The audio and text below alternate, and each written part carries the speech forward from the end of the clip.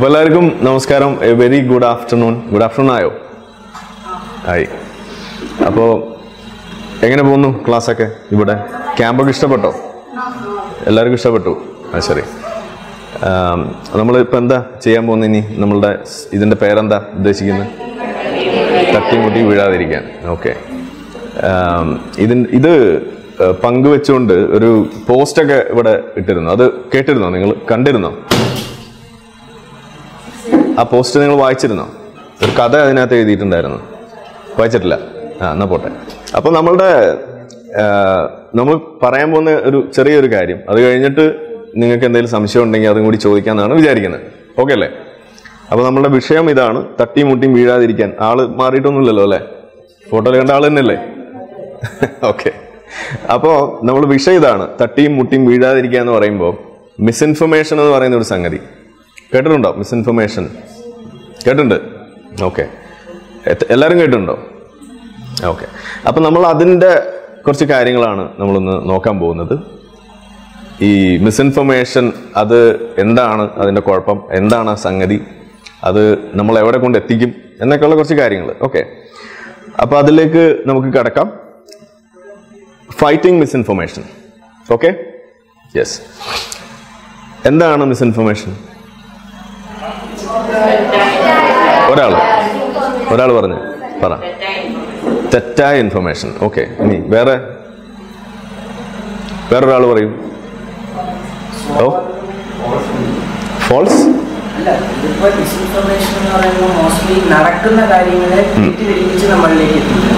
Okay അപ്പൊ തെറ്റായ information okay ശരി. ഓക്കെ ശരി. ഇനി വേറെ ഉണ്ടോ? തെറ്റായിട്ട് മനസ്സിലാക്കുക. ആ അപ്പോൾ സാധനം നല്ലതാണ് തെറ്റല്ല. മനസ്സിലായ വേറെ ആ ശരി. അപ്പോൾ ഇൻഫർമേഷൻ ശരിയാണ് പക്ഷെ മനസ്സിലായത് തെറ്റി. ഓക്കെ പിന്നെ? സ്റ്റീരിയോ ടൈപ്പിംഗ് നമുക്ക് നോക്കാം എന്താ സംഗതി എന്നുള്ളത്. അപ്പോൾ അത് ആദ്യം അറിയണമെന്നുണ്ടെങ്കിൽ എന്താണ് ഇൻഫർമേഷൻ നമ്മൾ അറിയണ്ടേ? എന്താ ഇൻഫർമേഷൻ ഡേറ്റ പിന്നെ? വിവരം. എന്നാണോ ഉദ്ദേശിക്കുന്ന ഡേറ്റ കൊണ്ട് നിങ്ങൾ ഉദ്ദേശിക്കുന്നത്? ഡേറ്റാ ബേസ് എന്നൊക്കെ പറയുന്നുണ്ടല്ലോ ആൾക്കാർ അല്ലേ? നമുക്ക് ഇൻഫർമേഷനെ കുറിച്ച് അറിയുമ്പോൾ അതിനോടൊപ്പം ഈ സാധനങ്ങൾ കൂടി അറിയേണ്ടതുണ്ട്. ഇപ്പൊ കോംപ്ലിക്കേറ്റഡ് ആയോ? എന്തൊക്കെയത്? മിസ്ഇൻഫർമേഷൻ ഡിസ്ഇൻഫർമേഷൻ പിന്നെ മാൽ ഇൻഫർമേഷൻ ഇതൊക്കെ എന്താണ് അപ്പോൾ അതും അറിയണ്ടേ? എന്താ ഇപ്പോൾ അതിലെ വ്യത്യാസം അറിയണ്ടേ? വേണ്ടേ അപ്പൊ ഇൻഫർമേഷൻ എന്ന് പറഞ്ഞു കഴിഞ്ഞാൽ പച്ച മലയാളത്തിൽ വിവരം എന്ന് നമ്മൾ തൽക്കാലം നിങ്ങൾ മനസ്സിലാക്കുക. ഓക്കെ വിവരം. നമുക്കൊരു കാര്യത്തെക്കുറിച്ചുള്ള ഒരു വിവരം എന്നുള്ളൊരു ഐഡിയ അതെങ്ങനെയാണ് അതിന്റെ സംഗതി വരുന്നതെന്നുള്ളത് നമുക്ക് ചില ഉദാഹരണങ്ങൾ കൂടെ നമുക്കൊന്ന് പെട്ടെന്ന് അറിയാം. ഇത് കണ്ടിട്ടുണ്ടോ ഈ സാധനം പോസ്റ്റർ എന്താണ് അതിൽ എഴുതിയിരിക്കുന്നത്? ഇമ്മ്യൂൺ ഇത് കണ്ടിട്ടുണ്ട്. എത്ര പേര് കണ്ടിട്ടുണ്ട്? കഴിച്ചിട്ടുണ്ടോ? ഇത് കണ്ടിട്ട്? കഴിച്ചിട്ടില്ല. ആഴ്സനിക്കം മാൽബം കഴിച്ച എത്ര പേരുണ്ട്? ആഴ്സനിക്കം മാൽബം എന്താ? ഹോമിയോ മരുന്ന്. ഓക്കെ അതൊക്കെ അറിയാം. യെസ് അത് ശരിയായിരുന്നോ? അങ്ങനെ പറഞ്ഞത്?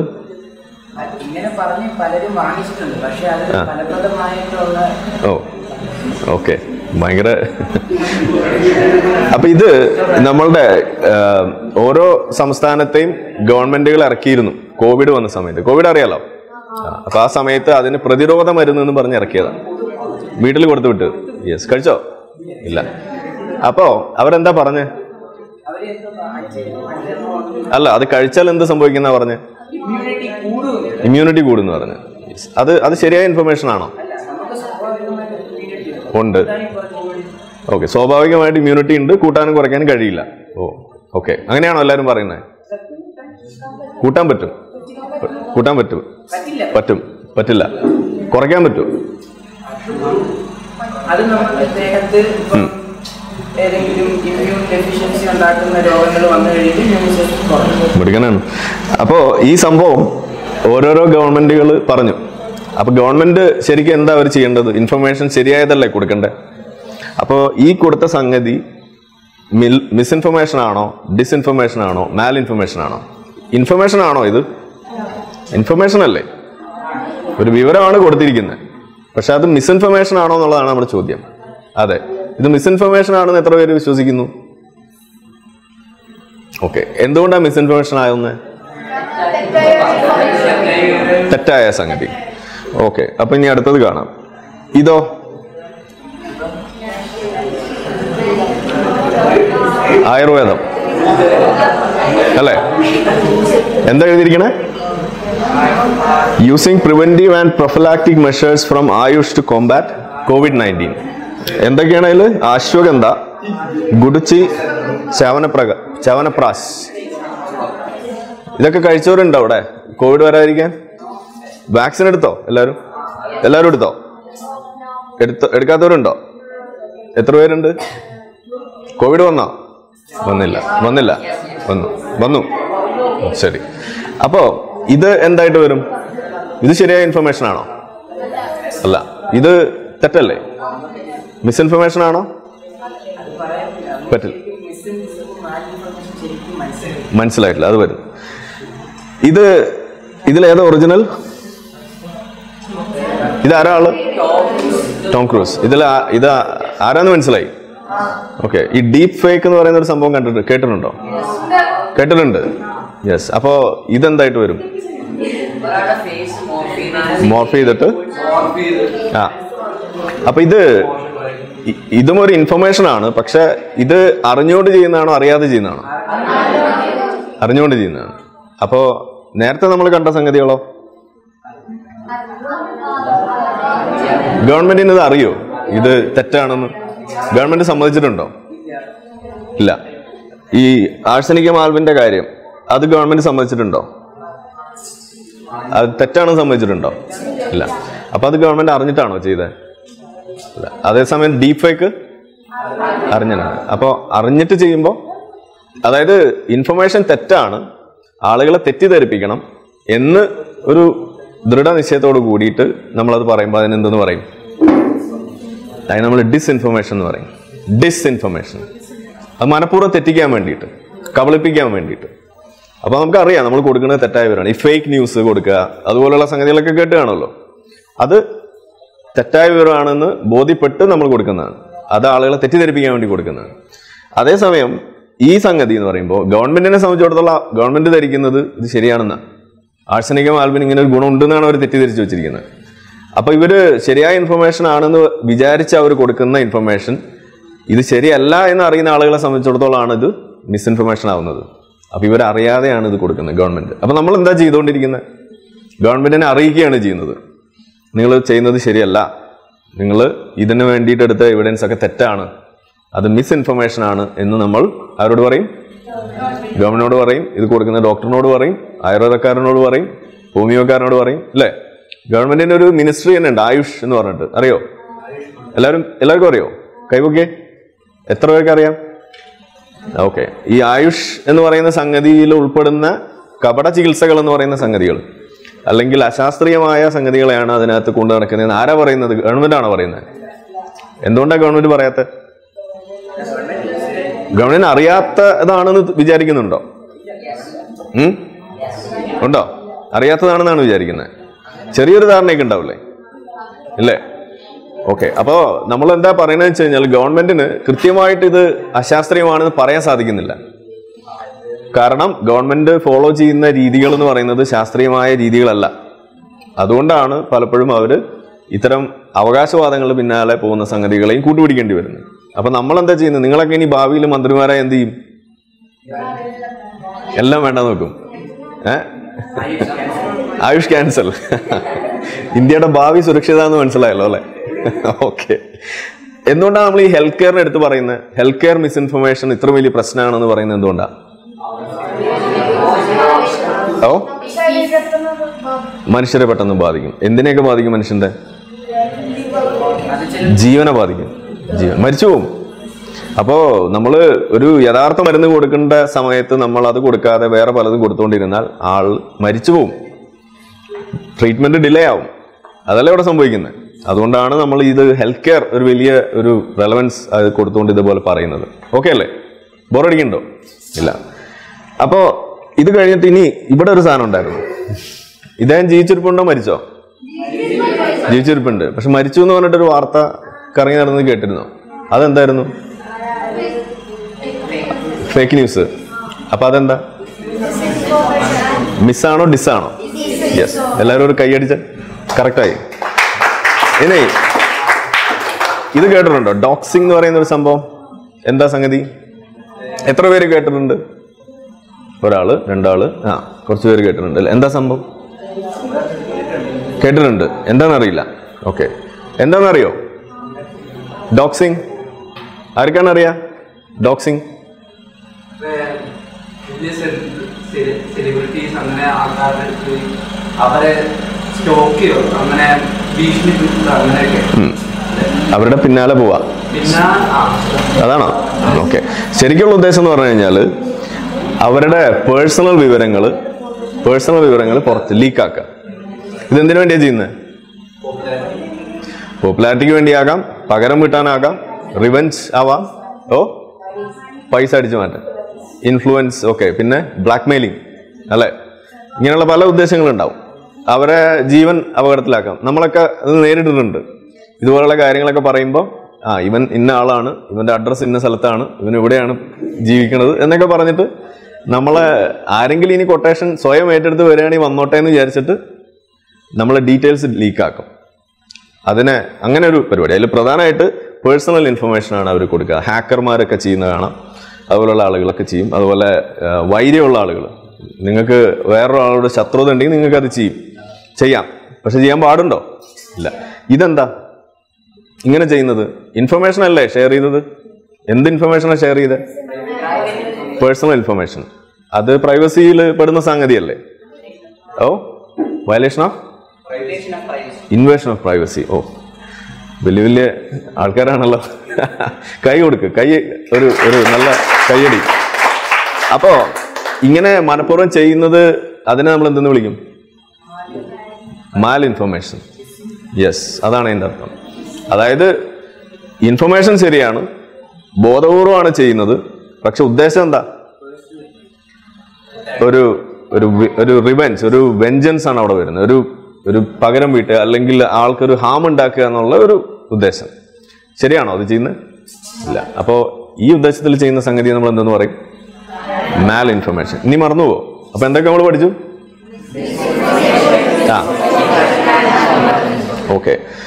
ഈ ചിത്രം കണ്ടിട്ടുണ്ടോ? കണ്ടിട്ടുണ്ട്. കണ്ടിട്ടില്ല. യെസ് ഇതിൽ ഈ ആറ് ചിത്രങ്ങൾ അതിനകത്തുണ്ട്. ആറ് കള്ളികൾ അല്ലേ? ആറ് കള്ളികളിലുള്ള ഡോട്ട്സ് സെയിം ആണോ ഡിഫറെന്റ് ആണോ? ഓ ഉറപ്പാണോ? ഡോട്ട്സ് ഒരേ സ്ഥലത്താണോ നിൽക്കുന്നത് അതോ വേറെ വേറെ സ്ഥലത്താണോ? നമുക്ക് നോക്കാം. ഒരേ സ്ഥലത്താണ്.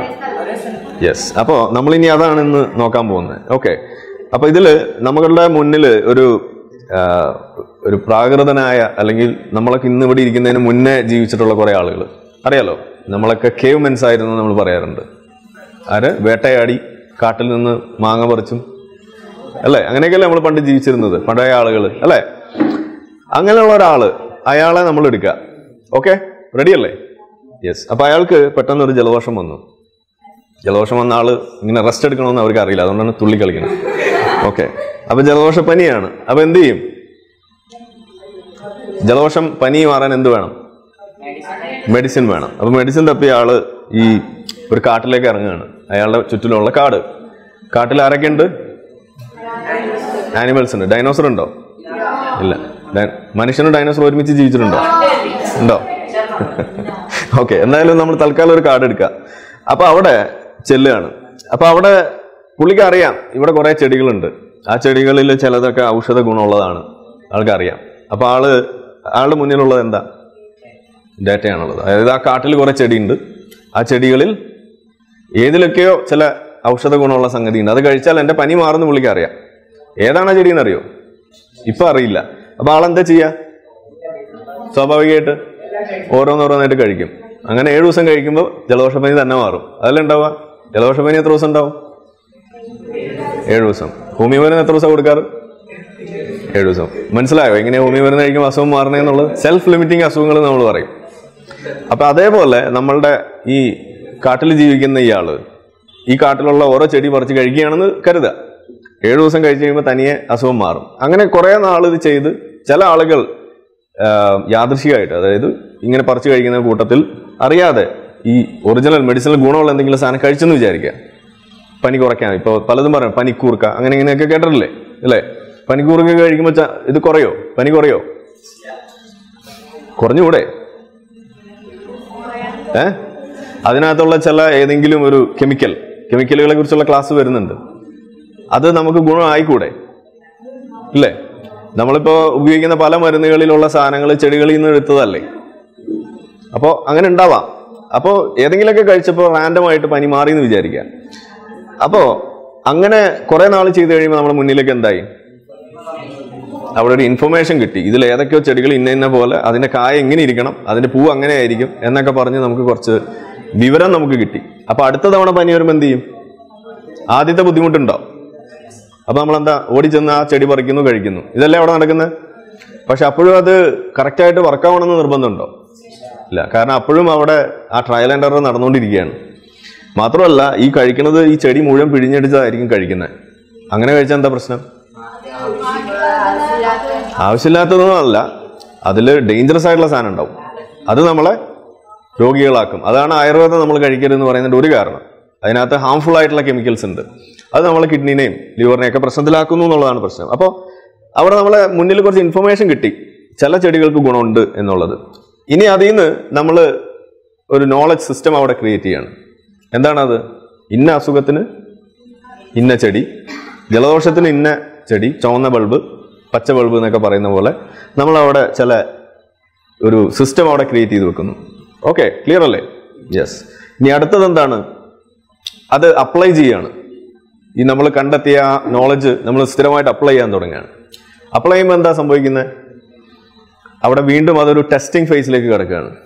അത് നമ്മൾ നിരന്തരം കൊടുത്തു നോക്കും. അപ്പോൾ ശരിക്കും അത് അങ്ങനെ തന്നെയാണോ? നമ്മൾ വിവരമായിട്ട് നമ്മൾ കണ്ടെത്തിയ കാര്യങ്ങൾ അപ്ലൈ ചെയ്യുമ്പോൾ അത് അതേപോലെ തന്നെ വരുന്നുണ്ടോ എന്നുള്ളത് യാദൃശികമായിട്ട് നടക്കുകയാണ്. പ്ലാൻഡ് ഒന്നുമല്ല അങ്ങനെ കുറേ നാൾ കഴിഞ്ഞ് കഴിയുമ്പോൾ നമുക്ക് അവിടെ മനസ്സിലാവുകയാണ് ഇത് വെറുതെ ചെടി ഇങ്ങനെ കഴിച്ചിട്ട് കാര്യമില്ല. ആ ചെടിക്കകത്തുള്ള ഏതൊക്കെയോ കെമിക്കലുകളാണ് ഈ ഗുണം ഉണ്ടാക്കുന്നത് എന്നുള്ള മറ്റൊരു തലത്തിലേക്ക് ഇത് വളരുകയാണ്. ഇത് കാലങ്ങൾ കൊണ്ടാണ് വളർന്നത്. അപ്പോൾ ഒരു കാലത്ത് ഉണ്ടായിരുന്ന നമ്മളുടെ ആളുകൾ ജീവിച്ചുകൊണ്ടിരുന്നപ്പോൾ കഴിച്ചിരുന്ന മരുന്നുകൾ നമ്മളെടുത്ത് നോക്കുമ്പോൾ അവർ ഇതുപോലെ ഇടിച്ചു പിഴിഞ്ഞ് മൊത്തം നീരെടുത്ത് കൊടുക്കുന്നിടത്തുനിന്ന് മാറിയിട്ട് പിന്നെന്താ നമ്മൾ കാണുന്നത് അതിനകത്തുള്ള കമ്പോണൻസ് അതെന്താണെന്നും കൂടി അറിയാനുള്ള ശ്രമം പിന്നെ അവിടെ നടക്കുകയാണ്. അപ്പോഴേക്കും ലോകം പുരോഗമിക്കുകയാണ്. നാട് പുരോഗമിക്കുകയാണ്. അല്ലേ? അപ്പോൾ അതിനകത്തുള്ള ആൽക്കലോയിഡുകൾ മറ്റ് ഫൈറ്റോ കെമിക്കൽസ് അതൊക്കെ കേട്ടല്ലേ കെമിസ്ട്രി ഒക്കെ പഠിക്കുന്നില്ലേ? യെസ് ഓർഗാനിക് കെമിസ്ട്രി അല്ലേ? അതൊക്കെ ഇനി വരുന്നുണ്ട് ക്ലാസ്സിൽ അവിടെ പറഞ്ഞു തരും കൂടുതൽ അപ്പോൾ അതിനെക്കുറിച്ചുള്ള ഒരു ഐഡിയ കിട്ടുകയാണ്. അപ്പോൾ ഇന്ന സംഗതി കഴിച്ചാൽ അത് ചുമ മാറും പനി മാറും എന്നൊക്കെയുള്ള രീതിയിലേക്ക് അവിടെ വരുന്നു. അപ്പോൾ പിന്നെ നമ്മൾ അവിടെ എന്താ ചെയ്യുന്നത്? ഈ ചെടി മുഴുവൻ എടുത്ത് കലക്കി കൊടുക്കോ അതിന്റെ ആവശ്യമുണ്ടോ? അങ്ങനെ കൊടുക്കാതിരിക്കുമ്പോൾ അത് ഗുണമായി മാറുന്നുണ്ടോ? ഗുണമായി മാറുന്നില്ലേ? പ്രിസിഷൻ വരുന്നില്ലേ? ഇങ്ങനെ നമ്മൾ ഒരു പ്രിസിഷനായി കാര്യങ്ങൾ ചെയ്യുമ്പോൾ അതിനെ നമ്മൾ എന്തെന്നാ വിളിക്കുന്നത് മോഡേൺ മെഡിസിൻ അതായത് ഒരു പ്രിസിഷൻ ട്രീറ്റ്മെന്റ് ആണ് അവിടെ നടക്കുന്നത്. നമുക്ക് എന്താണ് ഗുണം ഉണ്ടാകുന്നത് എന്ന് ശരിക്ക് കണ്ടെത്തിയിട്ട് അത് മാത്രം എടുത്തു കൊടുക്കുന്ന പരിപാടിയാണ് മോഡേൺ മെഡിസിനിൽ നടക്കുന്നതെന്ന് വളരെ റഫായിട്ട് നിങ്ങൾക്കൊരു മനസ്സിലാക്കാം. ക്ലിയർ അല്ലേ? ഓക്കെ അല്ലേ? അപ്പോൾ ആയുർവേദം പോലെയുള്ള മറ്റ് ഇതുപോലെയുള്ള നാട്ടുവൈദ്യം എന്നൊക്കെ പറയുന്ന സംഗതികൾ എന്താ നടക്കുന്നത്? ഇപ്പോൾ ഹോമിയോപ്പതിയിലൊക്കെ മദർ ടിഞ്ചറിലൊക്കെ എന്താ നടക്കുന്നത്? ഇടിച്ചു പിഴിഞ്ഞു കൊടുക്കുക കലക്കി കൊടുക്കുക. അത് ശരിയാണോ? ആരെങ്കിലൊക്കെ അങ്ങനെ കഴിക്കണ കാണുമ്പോൾ നിങ്ങൾ ചോദിക്കുമോ ഇനി? എന്തിനാ ഇങ്ങനെ കഴിക്കണത്? ഇതിൽ നിങ്ങൾക്ക് ദോഷം ഉണ്ടായിക്കൂടെ എന്ന് ചോദിക്കില്ലേ? ഉറപ്പല്ലേ? അത് ചോദിക്കണം? എന്തിനു വേണ്ടിയിട്ടാ? കിഡ്നി പോവാതിരിക്കാൻ. എന്തിനു വേണ്ടിയിട്ടാ? വേറെ എന്തൊക്കെയാ പോവാ? ലിവർ. പിന്നെ? ആ? ഏതാ? തട്ടിപ്പോണ്ടിരിക്കാൻ അത് തന്നെ. പച്ചനാളി പറഞ്ഞ അതാണ്. അപ്പൊ അത് ചോദിക്കൂലേ അപ്പൊ ഇതിൽ നമുക്ക് കാണാം. ഈ ഫോക്ക് മെഡിസിൻ എന്ന് പറഞ്ഞു കഴിഞ്ഞാൽ നാട്ടുവൈദ്യം. നാട്ടുവൈദ്യത്തിൽ എന്താ നടക്കുന്നത്? അവിടെ നമുക്ക് കിട്ടിയ വിവരങ്ങളെ നമ്മൾ റോങ് ആയിട്ട് യൂസ് ചെയ്യാണ് ചെയ്യുന്നത്. അതാണ് പലപ്പോഴും മിസ്ഇൻഫർമേഷൻ ആയിട്ട് വരുന്നത്. അവരറിയുന്നില്ല അത് തെറ്റാണെന്നുള്ളത് അവരറിയാതെയാണ് അത് ഉപയോഗിച്ചുകൊണ്ടിരിക്കുന്നത്. ഞാനിവിടെ മെയിനായിട്ട് ഈ വൈദ്യം അല്ലെങ്കിൽ മെഡിസിനിൽ ഉദാഹരണം എടുക്കുന്നത് നിങ്ങൾക്ക് പെട്ടെന്ന് കണക്ട് ചെയ്യാൻ വേണ്ടിയിട്ടാണ്. അതേസമയം മോഡേൺ മെഡിസിൻ നടക്കുമ്പോൾ ആ ഇൻഫർമേഷനെ നമ്മൾ ആ നോളജിനെ നമ്മൾ കറക്റ്റായിട്ട് ഉപയോഗിക്കുന്നു. അതല്ലേ അവിടെ സംഭവിക്കുന്നത്? അതാണ് നമുക്കിവിടെ കാണാൻ കഴിയുന്നത്. അപ്പൊ ഇതിലൂടെ നമുക്ക് എന്താ കിട്ടിയത്? ഇങ്ങനെ നമ്മൾ ചെയ്തപ്പോൾ കറക്റ്റായിട്ട് ഉപയോഗിക്കുന്നു എവിഡൻസിന്റെ പിന്നാലെ പോകുന്നു അതിനകത്ത് എന്താ വർക്ക് ചെയ്യുന്നതെന്ന് കണ്ടുപിടിച്ചിട്ട് അത് ഉപയോഗിക്കുന്നു. അങ്ങനെ അങ്ങനെ നമ്മൾ അതിനെ പരിഷ്കരിച്ചപ്പോൾ നമുക്ക് എന്താ കിട്ടിയത്? എന്ത് കിട്ടി? അവിടെ എഴുതിയിരിക്കുന്ന വാക്കെന്താ? കോൺഫിഡൻസ്. എന്തിനൊക്കെയുള്ള കോൺഫിഡൻസ്? തട്ടി പോവാതിരിക്കാൻ കിഡ്നി പോവാതിരിക്കാൻ പിന്നെ? ലിവർ പോവാതിരിക്കാൻ. ഇത് മാത്രമാണോ? അസുഖം മാറാൻ. അതേതല്ലേ നമ്മൾ എന്തിനാണോ ചികിത്സിക്കുന്നത്? അത് പെട്ടെന്ന് മാറണ്ടേ. കോംപ്ലിക്കേഷൻസ് ഇല്ലാതിരിക്കണ്ടേ. അതിന്റെ ലെങ്ത് കൂടാതിരിക്കണ്ടേ. പകരാതിരിക്കണ്ടേ. ഇപ്പൊ വാക്സിൻ എന്തിനാ എടുത്തത്? ഇമ്മ്യൂണിറ്റി? കിട്ടാൻ വേണ്ടിയിട്ട്. ആണോ? നമ്മൾ കൊറോ ഒരുപാട് വാക്സിൻസ് ഉണ്ട്. എത്ര വാക്സിനൊക്കെ അറിയാം?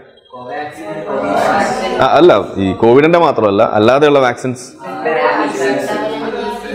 ബി സി ജി ആ M M R T T ആ എല്ലാം അറിയാം. ഓക്കെ ഇതിന്റെ മെയിൻ ഉദ്ദേശം എന്താ?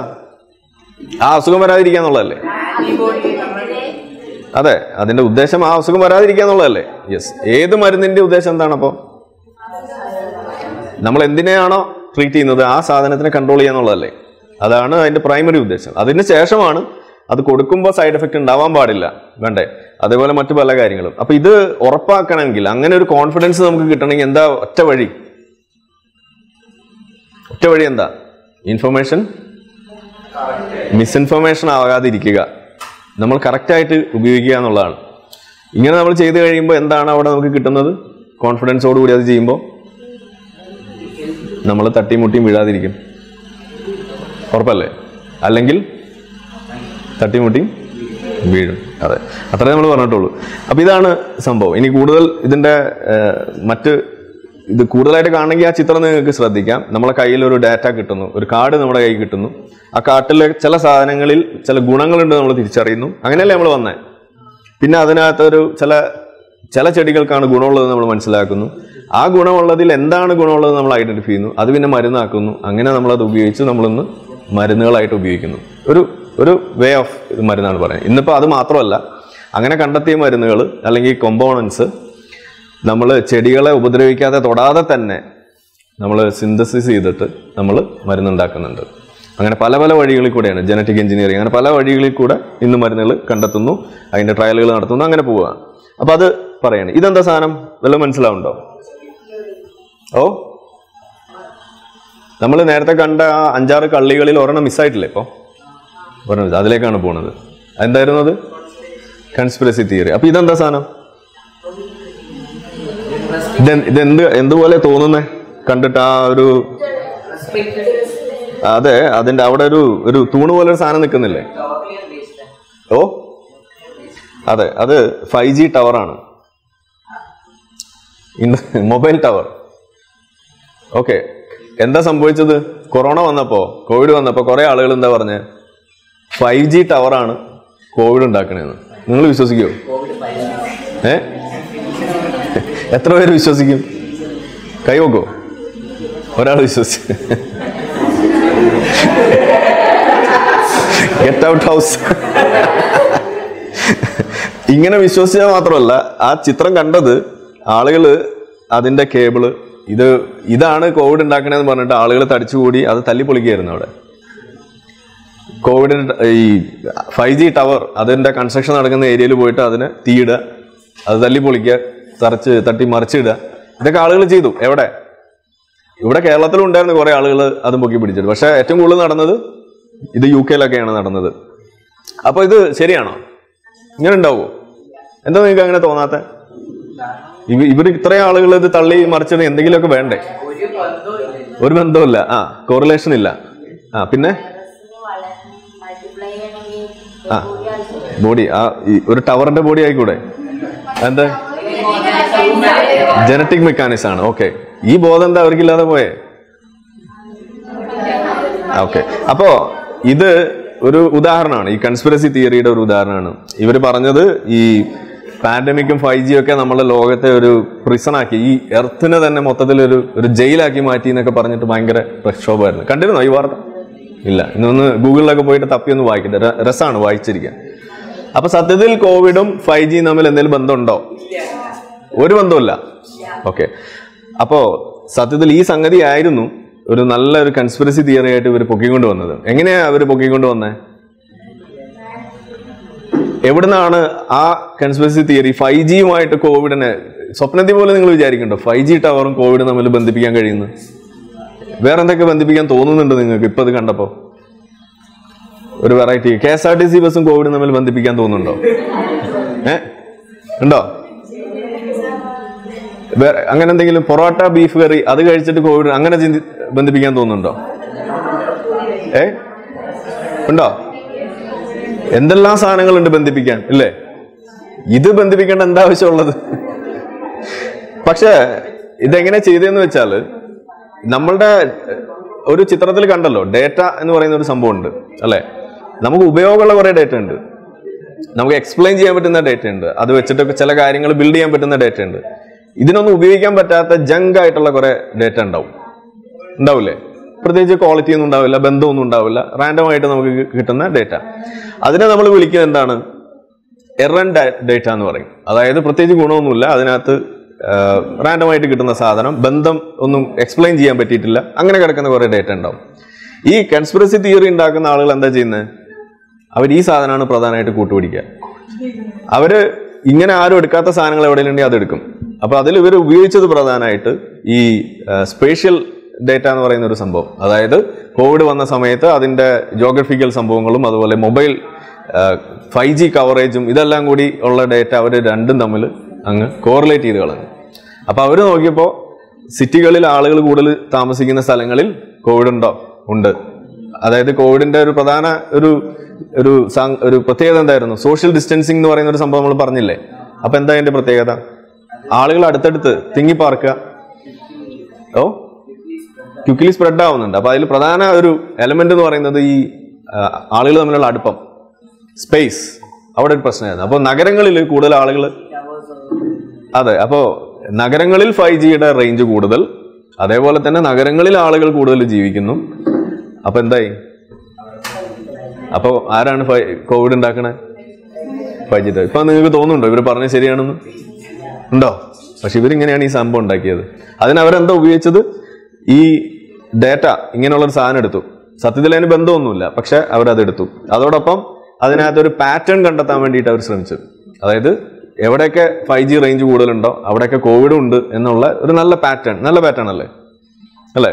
K S R T C bus ഏറ്റവും കൂടുതൽ ഓടുന്ന സ്ഥലത്ത് കോവിഡ് ഉണ്ട് നമുക്ക് വേണമെങ്കിൽ പറഞ്ഞൂടെ അല്ലേ? അതേപോലെ അങ്ങനെ വന്നതിന് ശേഷം പിന്നെ അവർ അതിനകത്തൊരു കൺഫർമേഷൻ ബയസ് എന്ന് പറയുന്ന ഒരു സംഭവം. നമ്മൾ കഴിഞ്ഞ ക്ലാസ്സിലൊക്കെ പങ്കെടുത്തുള്ളവർ കേട്ടിട്ടുണ്ടാവും അല്ലെങ്കിൽ അതിന്റെ വീഡിയോ ഒക്കെ കിടപ്പുണ്ട്. അതെന്താണ് ആ സംഗതി? നമുക്ക് ആവശ്യമുള്ള സാധനം തപ്പി പിടിക്കുക അതിനു വേണ്ടിയിട്ടുള്ള തെളിവുകൾ നമ്മൾ പരതിക്കൊണ്ടിരിക്കുക. എന്നിട്ട് അതങ്ങ് എടുക്കുക. അതാണ് അവിടെ സംഭവിച്ചത്. അതോടൊപ്പം അവർ ഒരു ഒരു ഹൈൻസൈറ്റ് ഒരു ബയസും കൂടി അവിടെ കൊണ്ടുവന്ന് മൊത്തത്തിൽ ഒരു കഥ അങ്ങ് ബിൽഡ് ചെയ്തു. അപ്പോൾ കൺസ്പിറസി തിയറി എന്ന് പറയുമ്പോൾ അല്ലെങ്കിൽ കൺസ്പിറസി ഉണ്ടാക്കുന്ന ആളുകളുടെ പ്രധാന ലക്ഷ്യം എന്താണ്? വിശ്വസിക്കാൻ കൊള്ളാവുന്ന ഒരു കഥ ഉണ്ടാക്കുക എന്നുള്ളതാണ്. അല്ലേ? പക്ഷെ അതെന്തോ വിശ്വാസമാകില്ല അതെന്താണ്? കുറച്ചൊക്കെ കാര്യം വേണം അല്ലേ കഥയിൽ യെസ് അപ്പോൾ നമ്മളുടെ മൊത്തത്തിലുള്ള സംഗതി ഇതാണ്. ഇനി ഇതേപോലെ ഇപ്പൊ ഹെൽത്ത് കെയറിലെ കാര്യമാണ് നമ്മൾ പറഞ്ഞത്. ഇതുപോലെ നിങ്ങൾക്ക് എവിടെയൊക്കെ ഇങ്ങനെ സംഗതികൾ കാണാൻ കഴിയും? വേറെ ഫീൽഡുകൾ നിങ്ങളുടെ ശ്രദ്ധയിൽപ്പെട്ടത് ഒരു കുറച്ച് ഉദാഹരണം പറഞ്ഞ്. ആ. പഴം ഉറക്കം പറ. എല്ലാരും കേക്കട്ടെ. പഴംപൊരി കഴിച്ചോണ്ട് വന്നപ്പോ? മരിച്ചു. പിന്നെ അതിനെ ബേസ് ചെയ്ത് കുറെ പേര് പറഞ്ഞിട്ടുണ്ടായിരുന്നു. ഇങ്ങനെ ഓയിലി ഫാറ്റ്സ് ഉണ്ടോ? അങ്ങനെ വീഡിയോ ഇറങ്ങിയിട്ടുണ്ടായിരുന്നു ഓക്കെ നല്ലൊരു കൈയിട്ട് നല്ലൊരു അസൽ സംഭവം. അപ്പോ പഴംപൊരി കഴിച്ച ഒരാൾ മിന്നലേറ്റ് മരിച്ചു. അപ്പോ എല്ലാവരും ഇനിയിപ്പോ മിന്നലേക്കോന്ന് വിചാരിച്ച് പഴംപൊരി കഴിക്കാതിരിക്കുന്നു. എന്തെങ്കിലും കോറിലേഷൻ ഉണ്ടോ? സംശയമുണ്ടോ? ഇല്ല. ആർക്കാ സംശയമുണ്ടോ? പഴംപരിയും മിന്നലും തമ്മിൽ എന്തെങ്കിലും ബന്ധമുണ്ടോ? അങ്ങനെ മരിക്കോ? ഇല്ല. ഓ? ഇന്നലെയും കൂടി കഴിച്ചാണ്. ഓക്കെ. അപ്പൊ ഒന്ന് സൂക്ഷിച്ച ഒരു മിന്നൽ മുരളി നമ്മളെ ഇടയിൽ ഇരിക്കുന്നുണ്ട്. ഇനി വേറെ ഇതേപോലെ വേറെ. എന്താണ്? പനി വരും പനി വരുമോ വരില്ല. അത് എന്തായിട്ടാ വരിക? മിസ്ഇൻഫർമേഷൻ ആണോ? ഓ? മിസ്ഇൻഫർമേഷൻ ആ ഇനി അടുത്തത്. നല്ലൊരു കൈയടി കൊടുക്കുക. ആ.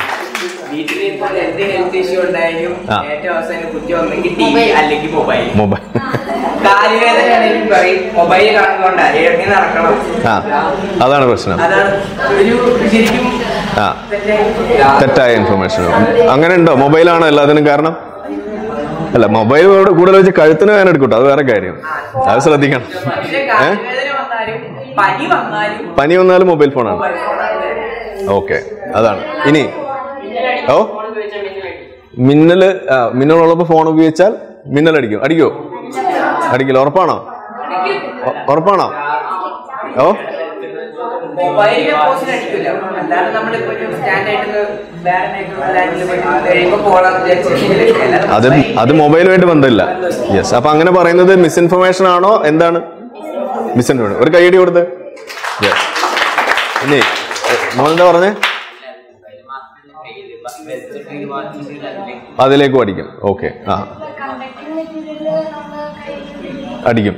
ഓ ഭയങ്കര ബുദ്ധിരാക്ഷസന്മാരാണ് ഇവിടെയൊക്കെ. സൂക്ഷിക്കണം. ഇനി അടുത്തത് വേറെ ഒരു ഉദാഹരണം. ഈ ഹെൽമെറ്റിന്റെ പിന്നിൽ ഒരു മിസ്ഇൻഫർമേഷൻ ഒരു ഒരു ഒരു കൺസ്പിറസി തിയറി ഉണ്ടായിരുന്നു. അത് കേട്ടിട്ടുണ്ടോ? ഹെൽമെറ്റ് എന്തിനാ നിർബന്ധാക്കിയേ? തലയുടെ സുരക്ഷത. സുരക്ഷ അല്ലേ? ഓക്കെ. അപ്പോൾ ഇത് ഇവിടെ നമ്മുടെ നാട്ടിലൊരു കൺസ്പിറസി തിയറി ഉണ്ടായിരുന്നു. എന്തായിരുന്നു അത്?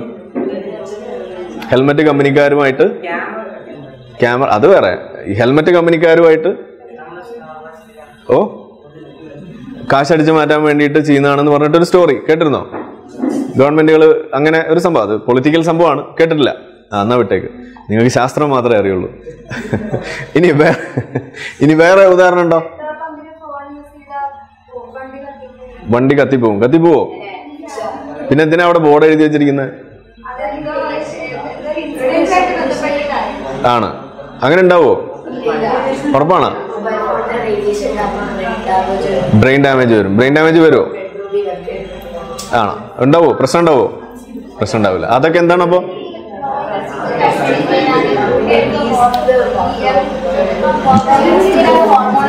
ബ്രോയിലർ ചിക്കനിൽ ഹോർമോൺ കുത്തിവെക്കും. ഉണ്ടോ? മിസ്ഇൻഫർമേഷൻ ആണോ? ഡിസ്ഇൻഫർമേഷൻ എന്താണ്? ഓ മിസ്ഇൻഫർമേഷൻ ആപ്പിളിൽ വാക്സ് ഉള്ളതുകൊണ്ട് കഴിക്കരുത്. ആ അതെന്താണ്? എഡിബിൾ വാക്സിൻ ആണ്. കൈ കൊടുക്കുക അവിടെ ഒരു കൈയടി കൊടുക്കുക അപ്പോൾ നമ്മൾ ഇപ്പൊ നിങ്ങൾക്ക് ഏകദേശം ഒരു കോൺഫിഡൻസ് ഇല്ലേ? കാര്യങ്ങൾ കാണുമ്പോൾ ഒരു ഐഡിയ കിട്ടില്ലേ? അപ്പൊ നിങ്ങൾ ഒരു സാധനം കേൾക്കുമ്പോൾ ആദ്യം എന്താ ചിന്തിക്കേണ്ടത് ഈ പറഞ്ഞത് മിസ്ഇൻഫർമേഷൻ ആണോ? ഡിസ്ഇൻഫർമേഷൻ ആണോ? മാൽ ഇൻഫർമേഷൻ ആണോ? ഇത് പറഞ്ഞ എന്തെങ്കിലും പണി കിട്ടുമോ അല്ലേ? ഇതൊക്കെ നോക്കൂലേ? അപ്പോൾ എല്ലാ കാര്യത്തിലും അങ്ങനെ ഒരു ശ്രദ്ധ കൊണ്ടുവരിക അതിന് തെളിവുണ്ടോ എന്ന് നോക്കുക. നമ്മൾ നേരത്തെ കണ്ടു എങ്ങനെയാണ് അതിലേക്ക് വരുന്നത്? ആ ഒരു കോൺഫിഡൻസ് കിട്ടുന്നതിന് ആദ്യം നമ്മൾ എടുക്കുന്ന സംഗതി എന്താണ്? തെളിവുകളാണ്. പ്രൂഫ് വേണ്ടേ? അതാണ് സയൻസിന്റെ മെത്തേഡ് എന്ന് പറയുന്നത്. പ്രൂഫ് ഉണ്ടോ എന്ന് നോക്കുക. അപ്പോൾ കുറച്ചും കൂടി കോൺഫിഡന്റ് ആയിട്ട് നമുക്ക് കാര്യം പറയും. എന്താ തെളിവ് നോക്കുമ്പോൾ തെളിവുണ്ട്. അത് ഓരോ മേഖലയിൽ ഓരോ തരത്തിലുള്ള തെളിവുകൾ നമുക്ക് കൊടുക്കാൻ കഴിയും. അങ്ങനെയാണ് അതിൽ നമ്മൾ കോൺഫിഡൻസ് ആർജിക്കുന്നത്. കോൺഫിഡൻസ് എന്ന് പറയുമ്പോൾ ഒരു പേഴ്സണൽ ഒരു സബ്ജക്റ്റീവ് ഫീലിംഗ് അല്ല പറയുന്നത്. ഇപ്പോൾ നമ്മൾ മരുന്ന് കൊടുക്കുമ്പോൾ നമ്മൾ ഒരു ഡോക്ടർ ദേ ഇന്ന മരുന്ന് ഇന്ന അസുഖത്തിന് കഴിച്ചോളൂ എന്ന് പറയുമ്പോൾ അതിനൊരു കോൺഫിഡൻസ് വരുന്നത് ഡോക്ടറുടെ കോൺഫിഡൻസ് അല്ല നമ്മൾ ഉദ്ദേശിക്കുന്നത്. ആണോ? അല്ല. ആ മരുന്ന് വർക്ക് ചെയ്യുന്നുള്ള കോൺഫിഡൻസ് ആണ്. അത് ഡോക്ടർക്ക് ഇല്ലെങ്കിലും അത് വർക്ക് ചെയ്യുന്നതാണെങ്കിൽ വർക്ക് ചെയ്യും. അവിടെയാണ് നമ്മൾ പറയുന്നത്. ക്ലിയർ അല്ലേ? കാരണം എന്താ വർക്ക് ചെയ്യാൻ കാരണം? അതിന് എവിഡൻസ് ഉണ്ട്. ഓക്കെ അല്ലേ? അപ്പോൾ ഡോക്ടറുടെ കോൺഫിഡൻസ് സബ്ജക്റ്റീവ് ആയിട്ടുള്ള കാര്യമല്ല പറയുന്നത്. ആ സംഗതി വർക്ക് ചെയ്യുന്നു എന്നുള്ളതിന്റെ തെളിവാണ് നമ്മൾ ഉദ്ദേശിക്കുന്നത്. ക്ലിയർ അല്ലേ? ഓക്കെ ഒരു കൈയടി ഇതൊക്കെ കണ്ടുകൊണ്ടിരുന്നപ്പോൾ ഈ ചിത്രമൊക്കെ എവിടെ നിന്ന് കിട്ടിയെന്ന് അറിയില്ല. ആലോചിച്ചോ. ഏ? ഏത് ടൂളാണ് നിങ്ങൾ ഉപയോഗിക്കാറുണ്ടോ? ഏതാണ് ഉപയോഗിക്കാറ്? ഓ? കേട്ടില്ല. ആ ഇത് ഫ്രീ ആയിട്ട് ഉള്ള ടൂൾസ് ആണ് എല്ലാം. ഏതാണ്? മൈക്രോസോഫ്റ്റിൽ മൈക്രോസോഫ്റ്റിൽ കോപ്പലൈറ്റിലുണ്ട് ഓക്കെ പനി വരുമ്പോ ആവി പിടിക്കുന്ന ആവി പിടിക്കുന്നില്ലേ കേട്ടില്ല. ആവി പിടിക്കത്തില്ലേ പനി വരുമ്പോ. അതിനകത്ത് ഈ പനിനീർക്കുറുക്ക അതുപോലത്തെ സാധനങ്ങളൊക്കെ ഇടുന്നു. അതെങ്ങനെ വർക്കാകുന്നെന്ന് പറഞ്ഞുതരാം. വർക്ക് ആവുന്നില്ലല്ലോ ശരിയല്ലേ? അത് ആവി അവിടെ എന്തെങ്കിലും ഒരു ഹ്യൂമിഡിഫൈങ് എഫക്ട് അത്രേ ഉള്ളൂ. അപ്പം ഡോക്ടർമാരെ ഇറക്കാൻ പനി വരുമ്പോ പനി വരും തൊണ്ടക്ക് വേനൊക്കെ വരുവാണെങ്കിൽ ആവി പിടിക്കാനായിട്ട്. ആ ഡോക്ടർ പറഞ്ഞത് ഒരു മിസ്ഇൻഫർമേഷൻ ആണ്. ആവി പിടിച്ചോ? അത് കുഴപ്പമൊന്നുമില്ല. പക്ഷേ കൂടുതൽ പിടിച്ച പ്രശ്നമാണ്. കാരണം നമ്മൾ മൂക്കിനകത്ത് ഒരു അതിനകത്ത് എന്താ പറയുക ബോഡിയുടെ തന്നെ ഭാഗമായിട്ടുള്ള നോർമൽ സ്ട്രക്ചേഴ്സ് ഉണ്ട്. അത് കൂടുതൽ ഹീറ്റിൽ സംഗതി ചെന്ന് കഴിയുമ്പോൾ അതിന് ഡാമേജിങ് ആണ്. അപ്പോൾ അത് നമ്മൾ സൂക്ഷിക്കണം. അപ്പോൾ ഫ്രീക്വന്റ് ആയിട്ട് ആവി കൊള്ളുക അങ്ങനെയൊക്കെ ചെയ്ത് കഴിയുമ്പോൾ അത് പ്രശ്നമാവും. വല്ലപ്പോഴും ഇപ്പോൾ രാവിലെ ഒരു ദിവസം കൊള്ളുന്നു അല്ലെങ്കിൽ വൈകിട്ട് കൊള്ളുന്നു അല്ലെങ്കിൽ വല്ലാതെ കൺജക്ഷനൊക്കെ ഉള്ളപ്പോൾ ചെയ്താൽ കുഴപ്പമൊന്നുമില്ല. ഒരു തവണ രണ്ട് തവണയൊക്കെ ചെയ്യാം. കൂടുതൽ നേരം ഒന്നും ചെയ്യരുത്. ഓക്കെ ഇപ്പൊ ഈ ബ്രോയിലർ ചിക്കനിൽ ഇപ്പോ ഹോർമോണൊന്നും കുത്തിവെക്കുന്നില്ല എന്ന് പറയുന്നില്ലേ പക്ഷെ അത് ഫോർട്ടി അല്ലെങ്കിൽ അതിലും കുറച്ച് ദിവസമല്ല അത് ജീവിക്കുള്ളൂ. അതെന്താ കാരണം? അത് ആ കോഴിയുടെ പ്രത്യേകതയാണ്. അത് അങ്ങനെ വളർന്ന് പെട്ടെന്ന് തന്നെ വെയിറ്റ് വെക്കാൻ പാകത്തിന് അതിനെ ജനറ്റിക്കലി മോഡിഫൈ ചെയ്തിട്ടുള്ള ഒരു ആ, കുത്തിവെപ്പ് ഒരു കുത്തിവെപ്പുണ്ട് കുത്തി വെച്ചിട്ടുണ്ടാക്കുന്ന കോഴി എന്ന് പറഞ്ഞു കഴിഞ്ഞാൽ നിങ്ങൾക്ക് നൂറ്റമ്പത് രൂപയ്ക്ക് ഷവർമയോ അല്ലെങ്കിൽ ഈ പറഞ്ഞ സാധനം തിന്നാൻ കഴിയില്ല. അത് ഹോർമോൺ തന്നെ ചില ഇനി അങ്ങനെ കുത്തി വെച്ചിട്ടുണ്ടാക്കുന്ന ഹോർമോൺ നമ്മൾ ചൂടാക്കുമ്പോൾ നശിച്ചു പോയില്ലേ? ഹോർമോൺ ഹീറ്റിൽ നിൽക്കുമോ ഇല്ല. ഹീറ്റിൽ അബൈലാണ് അപ്പോൾ അതിന്റെ അർത്ഥം കുത്തിവെച്ചിട്ട് വല്ല കാര്യമുണ്ടോ? കാര്യമില്ല. അപ്പോൾ കോഴി വളരുമായിരിക്കും ഇനി അങ്ങനെ കുത്തിവെച്ചാൽ തന്നെ നമുക്ക് ഒന്നും ബാധിക്കാനൊന്നും പോകുന്നില്ല. പക്ഷേ അങ്ങനെ ചെയ്തിട്ടുള്ള കോഴിയെ നിങ്ങൾക്ക് ഇരുന്നൂറ് രൂപയ്ക്ക് വിൽക്കാൻ കഴിയില്ല. അതാണ് അതിന്റെ പ്രശ്നം. അതൊരു വെറുതെ പറഞ്ഞുണ്ടാക്കുന്ന ഒരു കഥയാണ് ഒരു കൺസ്പിറസി എന്താണ്? തിയറിയാണ് yes okay so before you said about this deep fakes or disinformation right so how do you understand if if a picture is a deep fake or a real one അത് ഭയങ്കര ബുദ്ധിമുട്ടാണ് പച്ചക്ക് പറഞ്ഞാൽ. അതാണ് ഇപ്പോൾ A I വന്നു കഴിയുമ്പോൾ ഇരുന്നോ എ ഐ വന്നു കഴിയുമ്പോൾ ഇങ്ങനെയുള്ള പുതിയ പുതിയ ചാലഞ്ചസ് വരികയാണ്. ഇൻഫർമേഷൻ തെറ്റായ രീതിയിൽ ഉപയോഗിക്കുന്ന പുതിയ ചാലഞ്ചസ് വരികയാണ്. പണ്ടുള്ളത് പോലെയല്ല. പണ്ട് നമ്മളിപ്പോൾ ഇപ്പോൾ എന്താണ് രാത്രി കിടക്കാൻ നേരത്ത് കൃപാസനം പത്രത്തിൽ പല്ലിയെ പൊതിഞ്ഞു വെച്ചു രാവിലെ എഴുന്നേറ്റപ്പോൾ അത് ഡൈനോസർ ആയി എന്ന് പറയുന്ന സംഗതി അത് പറഞ്ഞ് ആളുകളെ അവർ വിശ്വസിപ്പിക്കുന്നു അല്ലെങ്കിൽ അങ്ങനെ വാട്സപ്പ് മെസ്സേജ് ആയിട്ട് പോകുന്നു ഇങ്ങനെയൊക്കെ ഉണ്ടായിരുന്നുള്ളൂ. ഇന്ന് അങ്ങനെയല്ല. എ ഐ വന്നോടുകൂടി കുറച്ചും കൂടി വിശ്വസനീയമാകുന്നു എന്നുള്ള രീതിയിലുള്ള നമുക്ക് തിരിച്ചറിയാൻ കഴിയാത്ത സംഗതികൾ പോലും വന്നുകൊണ്ടിരിക്കുകയാണ്. അപ്പോൾ എങ്ങനെയാ അതിനെ കൈകാര്യം ചെയ്യാം? അപ്പോൾ അതിന് പുതിയ വഴികൾ കണ്ടെത്തിക്കൊണ്ടിരിക്കുകയാണ്. ഇപ്പോൾ ചില സൈറ്റ്സ് ഉണ്ട്. ഡീപ് ഫേക്ക് നമുക്ക് ഡിറ്റക്ട് ചെയ്ത് കഴിഞ്ഞാൽ അവിടെ നമുക്ക് കൊടുക്കാം. നമ്മൾ ഒറിജിനൽ ഫോട്ടോയും ആ വീഡിയോയും നമ്മൾ അപ്ലോഡ് ചെയ്ത് കഴിഞ്ഞാൽ അവർ ഇന്റർനെറ്റിൽ എവിടെയൊക്കെ അതുണ്ടോ അത് റിമൂവ് ചെയ്യുന്ന തരത്തിലുള്ള ഫെസിലിറ്റീസ് വരെ പുതിയ എ ഐ തന്നെ ഉപയോഗിച്ചിട്ട് ചെയ്യുന്ന പരിപാടി. അതായത് കൗണ്ടർ എ കൗണ്ടർ മെക്കാനിസംസ് അതിനകത്ത് കൊണ്ടുവരികയാണ്. ഇങ്ങനെയൊക്കെയാണ് അതിനെ ഫൈറ്റ് ചെയ്യാൻ പറ്റുക. സോ നമ്മൾ ഇതുവരെ നേരിട്ട പോലെ അല്ല ഇനി കാര്യങ്ങൾ. കുറച്ചും കൂടിയും ഒരു വൈഡർ ആയിട്ടുള്ള കുറച്ചും കൂടിയും ഇതുപോലെ ഭയങ്കര ഡിഫിക്കൽട്ട് ആയിട്ടുള്ള രീതിയിൽ കാര്യങ്ങൾ ചെയ്യേണ്ട ഒരു അവസ്ഥയുണ്ട്. So it's very difficult not easy അതുകൊണ്ട് സൂക്ഷിക്കണം. Okay yeah doctor homeopathy practice ചെയ്തതാണല്ലോ. അപ്പൊ ഏത് പോയിന്റിൽ വെച്ചാണ് തിരിച്ചറിഞ്ഞത്? സ്യൂഡോ സയൻസ് ആണ് ഇത് വർക്ക് ചെയ്യത്തില്ലെന്ന് എങ്ങനെയാണ് തിരിച്ചറിഞ്ഞത്? ഏത് പോയിന്റ് വെച്ചാണെന്ന് ചോദിച്ചു കഴിഞ്ഞാൽ ഈ തള്ളു കേൾക്കുമ്പോഴാണ്. ഈ സ്യൂഡോ സയൻസിന്റെ കുറെ ആ, യെസ് സത്യം സത്യം. ഓക്കെ സ്യൂഡോ സയൻസിന്റെ കുറെ പ്രത്യേകതകൾ നമ്മൾ പറയും അല്ലെ? ഹോൾമാർക്സ് ഓഫ് സ്യൂഡോ സയൻസ് എന്ന് പറഞ്ഞിട്ട്. അതിലൊരു പ്രധാനപ്പെട്ട സംഗതിയാണ് എന്ത് ഒന്ന് അൺഡ്യൂ ക്ലെയിംസ് ഓഫ് ഇഫക്റ്റീവ്നെസ് എന്ന് പറയുന്ന ഒരു സംഭവമാണ്. അതായത് ഭയങ്കര എഫക്റ്റീവ് ആണ്. ഇതങ്ങ് കൊടുത്തു ഇങ്ങനെ നടന്നിരുന്ന ആളാണ് ഇപ്പോൾ ഇങ്ങനെയാണ് നടക്കുന്നത് ഇങ്ങനെയൊക്കെ പറഞ്ഞാളെ അപ്പോൾ ആളുകൾ അങ്ങ് വിശ്വസിക്കും അല്ലേ? ക്യാൻസർ ആയിരുന്നു മുഴ അര കിലോ ഉള്ള മുഴയായിരുന്നു രണ്ട് കിലോ ഉള്ള മുഴയായിരുന്നു. ഇപ്പം അത് കാണാനില്ല നേരം വെളുത്തപ്പോൾ കാണാനില്ല. അപ്പോൾ ഇങ്ങനെയൊക്കെ പറയുമ്പോൾ ആളുകൾ അങ്ങ് വിശ്വസിച്ച് പോവാണ്. അപ്പോൾ ഒരു പ്രധാനപ്പെട്ട കാരണം അപ്പോൾ നമ്മൾ നമ്മളെ മനസ്സിലേക്കൊരു ചിന്ത വരികയാണ് ഇതിനെവിടെ എവിഡൻസ് ഈ പറഞ്ഞ ചോദ്യമാണ് അവിടെ. തെളിവ് എവിടെ ഇതൊരു പ്രശ്നം. തെളിവില്ല. പറച്ചിലുകളാണ്. എല്ലാവരും ഇങ്ങനെ തള്ളു മാത്രമേ കാണുന്നുള്ളൂ. പിന്നെ അതുകൂടാതെ സയന്റിഫിക് കമ്മ്യൂണിറ്റിയിൽ ഒരു ഡിസ്കോഴ്സ് നടക്കുമ്പോൾ ഒരു ഡിബേറ്റ് നടക്കുമ്പോൾ അതിനൊരു സ്വഭാവമുണ്ട്. ആ സ്വഭാവത്തിന്റെ ഒരു പെക്യുലാരിറ്റി എന്ന് പറഞ്ഞാൽ എന്താണ്? അത് എവിഡൻസ് വെച്ചും ഫാക്ട് ബേസ്ഡ് ആയിട്ടുള്ള ഒരു ഡിബേറ്റാണ് നമ്മൾ ഇന്ന കാരണം കൊണ്ട് ഇന്നത് തെറ്റാണെന്ന് പറയുമ്പോൾ അല്ല ഇന്ന കാരണം കൊണ്ട് ഇത് ശരിയാണെന്നാണ് നമ്മൾ പ്രതീക്ഷിക്കുന്ന ഉത്തരം. അതല്ല നമ്മൾ തിരിച്ചു കിട്ടുന്നത്. നമ്മൾ എന്താ കേൾക്കുന്നത്? ഇത് അലോപ്പതി മരുന്ന് മാഫിയയുടെ ഗൂഢാലോചനയാണ്. കൺസ്പിറസി അല്ലേ? ഗൂഢാലോചനയാണെന്നാണ് പറയുക ഹോമിയോപ്പതിയെ തകർക്കാൻ വേണ്ടിയിട്ട്. അത് അങ്ങനെ ഒരു കൺസ്പിറസി തിയറി തന്നെ ഉണ്ട്. ബിഗ് ഫാർമ എന്ന് പറയുന്ന സാധനം കേട്ടിട്ടുണ്ടോ? ഇല്ല കേൾക്കാതിരിക്കണം നല്ലത്. അപ്പൊ അങ്ങനെ ഒരു സംഭവം ആണ് അന്നൊക്കെ. ഇപ്പൊ ഒക്കെ കുറെ കുറവാണത്. പിന്നെ നമ്മളെയൊക്കെ ഫണ്ട് ചെയ്യുന്നത്. അല്ലെങ്കിൽ ഇതുപോലെ വിമർശനം ഉന്നയിക്കുന്ന ആളുകളെ മുഴുവൻ ഫണ്ട് ചെയ്യുന്നത് ഐ എം എ ആണ്. അല്ലെങ്കിൽ മരുന്ന് കമ്പനികളാണ്. ഇങ്ങനെയൊക്കെയുള്ള അപ്പോൾ നമ്മൾ പറയുന്നത് എന്താണ്? ഇത് തെളിവില്ല. ഇത് ഫലിക്കുന്നു എന്നുള്ളതിന്. തെളിവില്ല എന്ന് പറയുമ്പോൾ അവർ തിരിച്ചു പറയുന്നത് എന്താണ്? നിങ്ങളെ ഫണ്ട് ചെയ്യുന്നത് മരുന്ന് കമ്പനിയാണ്. അതാണോ അതിന്റെ ഉത്തരം? നമ്മൾ പ്രതീക്ഷിക്കുന്ന ഉത്തരം അതല്ല. അപ്പൊ തുടക്കത്തിലൊക്കെ ഇത് മതിയായിരുന്നു. ഈ ഐ എം എ ഫണ്ട് അല്ലെങ്കിൽ മരുന്ന് കമ്പനി അതല്ലെങ്കിൽ ഇങ്ങനെയുള്ള തകർക്കാനുള്ള നീക്കം ഇങ്ങനെയൊക്കെയുള്ള സംഗതികൾ കേൾക്കുമ്പോൾ ഒരു ചെറിയ ആശ്വാസമൊക്കെ ഉണ്ടായിരുന്നു തുടക്കത്തിൽ ഒരു പോയിന്റ് എത്തിയപ്പോൾ മനസ്സിലായി ഇത് വെറും തള്ളാണെന്ന്. ഇതെന്നും ഇത് പറഞ്ഞുകൊണ്ടിരിക്കാൻ പറ്റുമോ? കാരണം അവർ സംസാരിക്കുന്നത് തെളിവ് വെച്ചിട്ടാണ് തിരിച്ചും തെളിവാണ് കൊടുക്കേണ്ടതെന്നുള്ളൊരു ഒരു ചിന്ത നമുക്ക് വന്നു കഴിയുമ്പോൾ മനസ്സിലാവും. ഇത് സം പ്രോബ്ലം ബിഗർ പ്രോബ്ലം അത് നമുക്ക് മനസ്സിലാവുമ്പോൾ നമ്മൾ പിന്നെ പിന്നെ നമ്മൾ ഉടനെ അങ്ങ് ഇറങ്ങി ഓടുകയല്ല ചെയ്തത് കാരണം അങ്ങനെ ഓടിക്കഴിഞ്ഞാൽ പറയും പഠിച്ചിട്ട് വിമർശിക്കണം എന്ന് പറയും. കേട്ടിട്ടില്ലേ? അപ്പോൾ നമ്മൾ എന്ത് ചെയ്ത്? പഠിച്ചു. ഇതിലെവിടെയാണ് പ്രശ്നം എന്ന് അറിയാൻ വേണ്ടിയിട്ട് സമയം അതുപോലെ പൈസ ഇതെല്ലാം ചിലവഴിച്ച് നമ്മൾ ഒറ്റയ്ക്ക് ചില കാര്യങ്ങൾ ചെയ്യാൻ വേണ്ടി ഇറങ്ങി തിരിച്ച് നോക്കിയപ്പോൾ മനസ്സിലായി ഇത് രക്ഷയില്ല. അങ്ങനെ അറൗണ്ട് ഒരു ഒരു ഏഴ് വർഷത്തോളം അതിന്റെ പിന്നാലെ നടന്നിട്ടാണ് നമ്മൾ അവസാനം നിർത്തുന്നത്. സെവൻ ഇയേഴ്സ് എന്ന് പറയാം. അല്ലെങ്കിൽ ഒരു സിക്സ് ടു എയ്റ്റ് ഇയേഴ്സ് അങ്ങനെയാണ് അത് സ്റ്റോപ്പ് ചെയ്യുന്നത് പെട്ടെന്ന് സ്റ്റോപ്പ് ചെയ്യാൻ കഴിയില്ല. കാരണം നമ്മൾ സ്റ്റോപ്പ് ചെയ്താലും ഓൾറെഡി ഈ മിസ്ഇൻഫർമേഷൻ ഇത് ഫലിക്കും മുഴ അര കിലോ ആയി ഉള്ളത് അല്ല രണ്ട് കിലോ ഉള്ളത് അര കിലോ ആവും എന്നൊക്കെ വിചാരിച്ച് ആ ഇൻഫർമേഷൻ ശരിയാണെന്ന് ധരിച്ച് നടക്കുന്ന ആളുകൾ നമ്മളെ വിടൂല. ഡോക്ടർക്ക് വിശ്വാസം ഇല്ലെങ്കിലും വേണ്ടില്ല. എനിക്ക് മരുന്ന് വേണമെന്ന് പറഞ്ഞിട്ട് നമ്മളെ വിളിക്കും. അപ്പൊ നമ്മൾ എന്ത് ചെയ്യും? തരൂല എന്ന് പറയാൻ പറ്റുമോ? അപ്പൊ അവരെ അവരുടെ അടുത്ത് നിന്ന് ഓടി രക്ഷപ്പെടണം. അതിന് വേണ്ടിയിട്ട് ഒരു വർഷം ഒരു ഒളി ജീവിതം വരെ നയിച്ചു. അങ്ങനെ നമ്മൾ ഒരു നാട് വിട്ടു. ഒരു അറൗണ്ട് ഒരു രണ്ട് വർഷത്തോളം. കാരണം എന്താണ്? വിളിക്കുമ്പോൾ ആളുകൾ വിളിക്കുമ്പോൾ അവൾ പറയും നാട്ടിലില്ല സ്ഥലത്തില്ല. ഇന്ന സ്ഥലത്താണ് കോഴ്സിലാണ് പഠിക്കുകയാണ്. എന്നൊക്കെ പറഞ്ഞ് മുങ്ങി നടന്നു ഒരു രണ്ട് വർഷത്തോളം.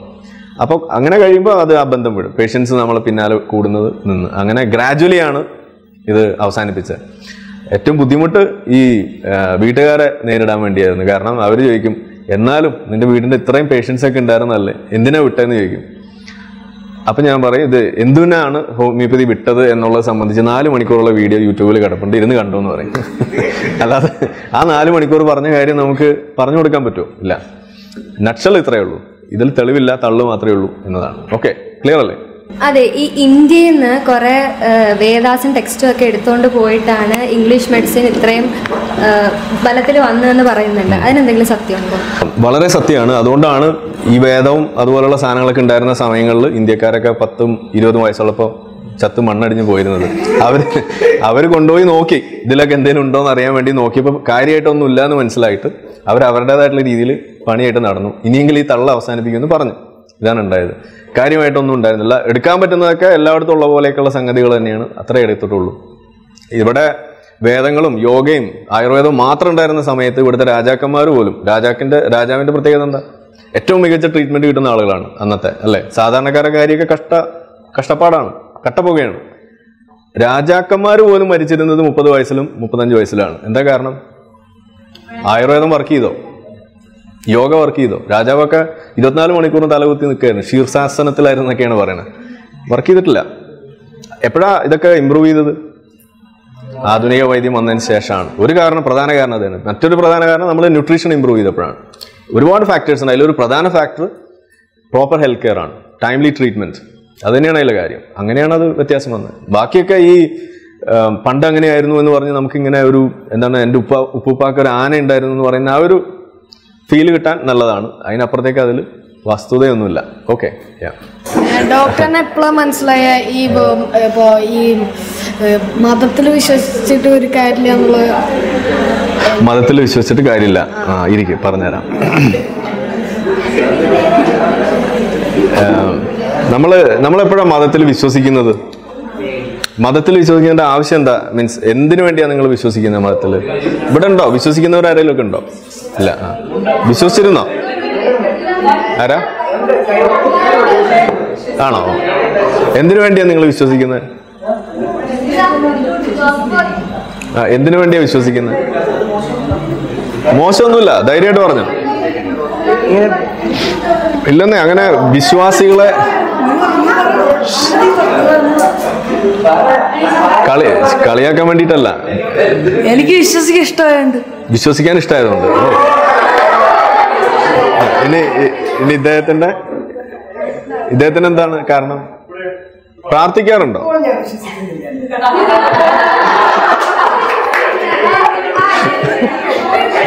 അല്ല ഇത് നമുക്കൊരു വീഡിയോ ആയിട്ട് എടുക്കാം. മറ്റേ ജാക്കിർ നായിക്കിന്റെ റിവേഴ്സ് ഞങ്ങൾ ട്രഡീഷണലി ആയിട്ട് അങ്ങനെ വിശ്വസിക്കുന്നോണ്ട് ഞാൻ പ്രാർത്ഥിക്കാറുണ്ടോ? എന്റെ അച്ഛൻ വിശ്വസിക്കുന്നില്ല. ഞാൻ വിശ്വസിക്കുന്നുള്ളൂ. പ്രാർത്ഥിക്കാറുണ്ടോ? അത് പ്രത്യേകിച്ച് എക്സാം ടൈമിലാണ് ഞാൻ പ്രാർത്ഥിക്കുന്നത്. എന്തിനു വേണ്ടിയിട്ടാ നമുക്കൊരു മനസ്സിന് സുഖം കിട്ടുമ്പോ. ഞാൻ ഇങ്ങനെ പ്രാർത്ഥിക്കുമ്പോഴത്തേക്കും കിട്ടുമായിരിക്കുമല്ലോ എന്നുള്ള മനസ്സിന് സുഖം കിട്ടും. പരീക്ഷയിൽ എന്നിട്ട് ജയിക്കാറുണ്ടോ? ആ ജയിക്കാറുണ്ട്. അത് പഠിച്ചതുകൊണ്ടാണോ ജയിച്ചത്? അല്ല പഠിച്ചിട്ട് എന്നാലും നമുക്കൊരു മനസ്സിന് സുഖത്തിന് ഞാൻ. ഓക്കെ. ഇനി ഒരു തവണ പഠിക്കാതെ പ്രാർത്ഥിച്ചിട്ട് മാത്രം എഴുതാനുള്ള ധൈര്യം ഉണ്ടോ ഉണ്ടോ? ഇല്ല നോക്കാം ശ്രമിക്കാം. ഒന്ന് ശ്രമിച്ചു നോക്ക്. പഠിക്കാതെ പോവാ. ഒന്നും വായിക്കരുത്. അപ്പൊ ഇതിന്റെ ഉത്തരം ഞാൻ പറയാം.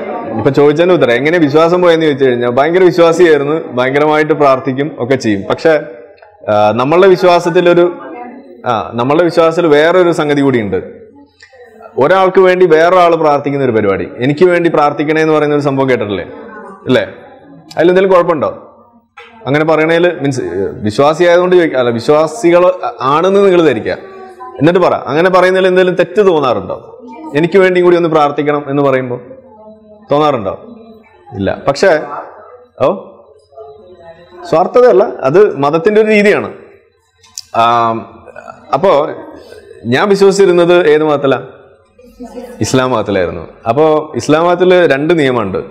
ഒന്ന് ഈ പ്രാർത്ഥന ഔട്ട്സോഴ്സ് ചെയ്യുന്ന പരിപാടി ഇല്ല. ഓക്കെ നിങ്ങൾക്ക് വേണമെങ്കിൽ നേരിട്ട് പ്രാർത്ഥിക്കാം.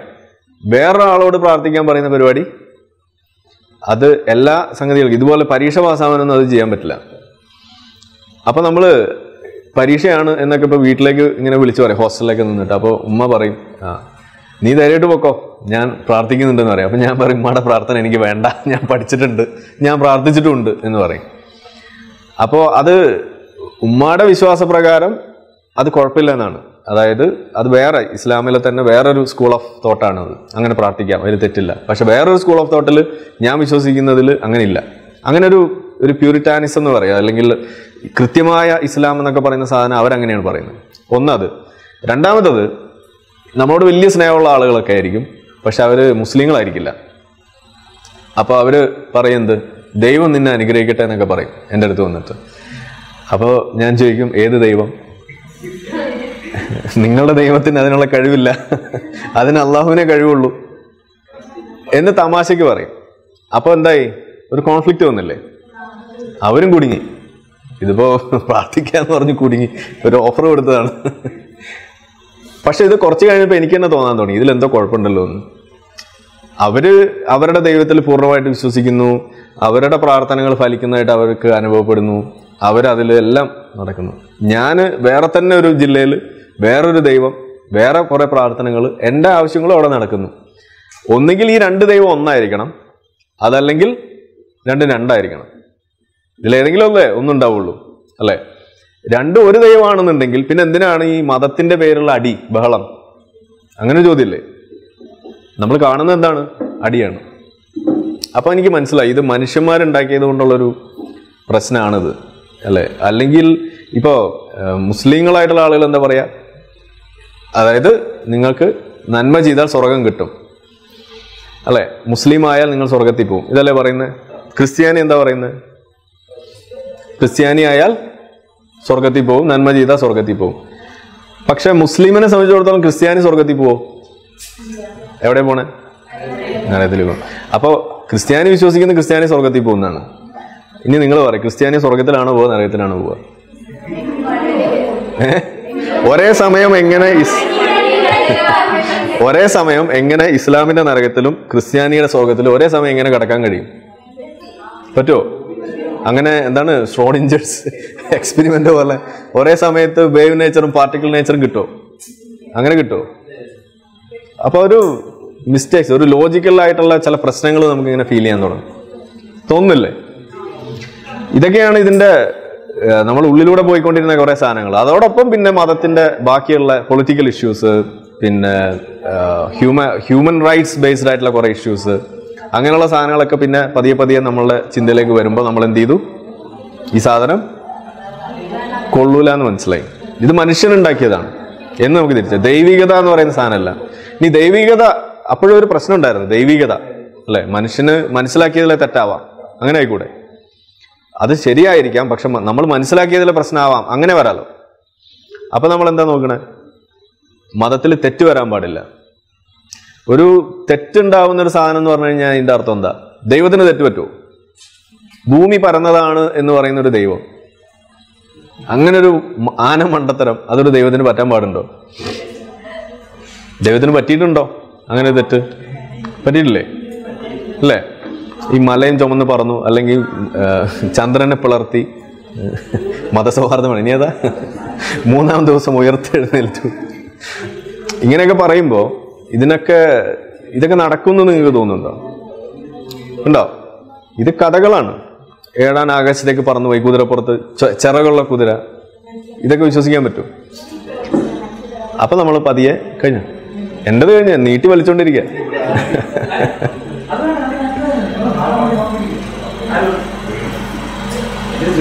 ആണോ? എന്നത് ഒരു രണ്ട് അഞ്ച് മിനിറ്റ്. മുപ്പത് അല്ലല്ല അത് നമ്മൾ പറയില്ല. ഓക്കെ. അപ്പോ കാര്യം ക്ലിയർ അല്ലേ? കൂടുതൽ പറയില്ല നിങ്ങൾ വിശ വിശന്നിരിക്കുകയാണ് നിങ്ങളെക്കാൾ കൂടുതൽ വിശപ്പ് എനിക്കുണ്ട്. ഇന്നലെ പോലെ കഴിക്കാത്തതാണ് നോമ്പ. അപ്പൊ അതുകൊണ്ട് അപ്പൊ അതുകൊണ്ട് തൽക്കാലം നോമ്പ് എന്ന് പറഞ്ഞാൽ എന്താ? ഫാസ്റ്റിംഗ്. ഫാസ്റ്റിംഗ് എന്ന് പറഞ്ഞാൽ കാലറി റെസ്ട്രിക്ഷൻ അല്ലേ? ഇന്നലെ രാത്രി കഴിച്ച് രാവിലെ കാര്യമായിട്ടൊന്നും കഴിച്ചില്ല. ഫാസ്റ്റിംഗ് അല്ലേ? കാലറി റെസ്ട്രിക്റ്റഡ് അല്ലേ? അത്രേ ഉള്ളൂ. നമ്മൾ നോമ്പ് എന്നൊക്കെ പറയുമ്പോൾ എന്തോന്ന് വിചാരിച്ച നിങ്ങൾ എല്ലാവരും എല്ലാ ദിവസവും നോമ്പല്ലേ? രാത്രി വൈകിട്ട് നിങ്ങൾ എത്ര മണിക്ക് ഡിന്നർ കഴിക്കണേ? ഇവിടെ എത്ര മണിക്കാ? എട്ട് മണിക്ക്. പിന്നെ രാവിലെ എപ്പോഴാ കഴിക്കണേ? ഓ? പത്ത് മണിക്ക്. അപ്പോൾ രാത്രി എട്ട് തൊട്ട് രാവിലെ പത്ത് വരെ എന്താ? നിങ്ങൾ വല്ലതും കഴിക്കണ്ടോ? അപ്പോൾ കാലറി റെസ്ട്രിക്ഷൻ ഇല്ലേ? ഫാസ്റ്റിംഗ് അല്ലേ? നോമ്പെന്ന് വിളിക്കാൻ പറ്റുമോ? അതെ അതന്നെയല്ലേ നോമ്പ്. ഭക്ഷണം കഴിക്കുന്നില്ല. ഇത്രയേ ഉള്ളൂ കഥ. ചില മതക്കാര് അവർ നിങ്ങൾ രാത്രി ഇങ്ങനെ ചെയ്യുന്നത് ചില ആളുകൾ ലഞ്ച് സ്കിപ്പ് ചെയ്യും. എന്നിട്ട് വലിയ ഡെക്കറേഷൻ കൊടുക്കും. ഭയങ്കര നോമ്പാണെന്നൊക്കെ പറയാം. അത്രയേ ഉള്ളൂ. ഓക്കെ അപ്പൊ എന്നാ നമുക്ക് പിരിയാം. Okay thanks